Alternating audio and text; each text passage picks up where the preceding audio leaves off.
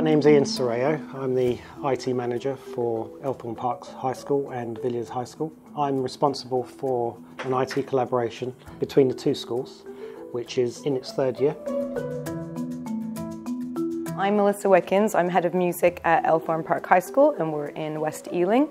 And this is currently a GCSE coursework composition lesson and they're using GarageBand to compose minimalism.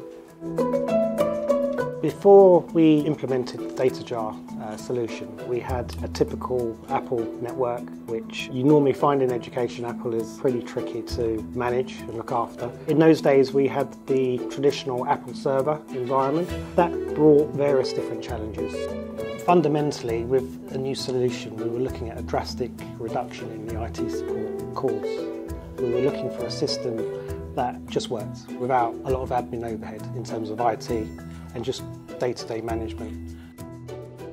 We first started with just a few PC computers and we just had Sibelius and the kids had to share three or four computers that were set up in there. And then we got our first Mac IT suite.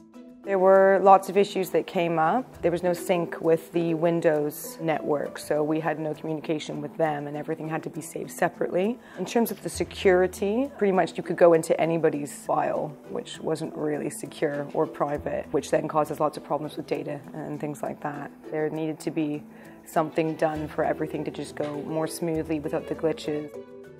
We knew the technical lead at DataJar and he basically was aware of the condition of the system. Having first-hand experience of what we were going through, he approached us and basically introduced a system that he was developing and offered that. And in terms of going with DataJar, uh, it was, I believe, the only company that was doing that sort of thing at the time, which is nice to be at the cutting edge.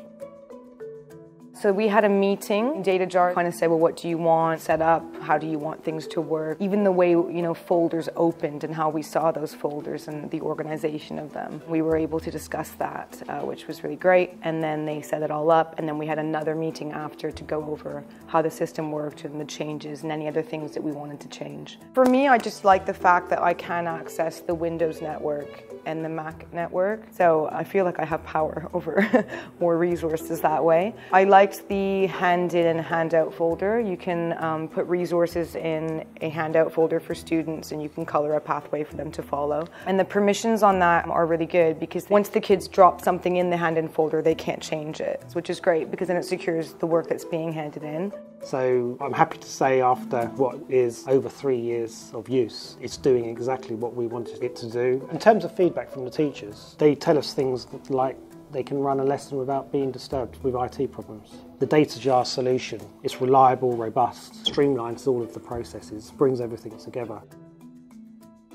Every single visitor that comes is just blown away by the Macs, but also that they actually work. That's always, um, it's always a thumbs up for us.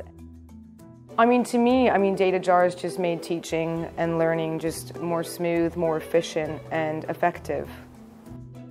In my list of suppliers that I have, DataJar are up there as one of my favourites to work with, deal with, and to help us on our journey uh, towards getting more reliable IT in, in place. They've got a good understanding of what it is that we need to achieve. So I always feel they're meeting me halfway. I don't have to convince them in terms of where I want to go. They already know.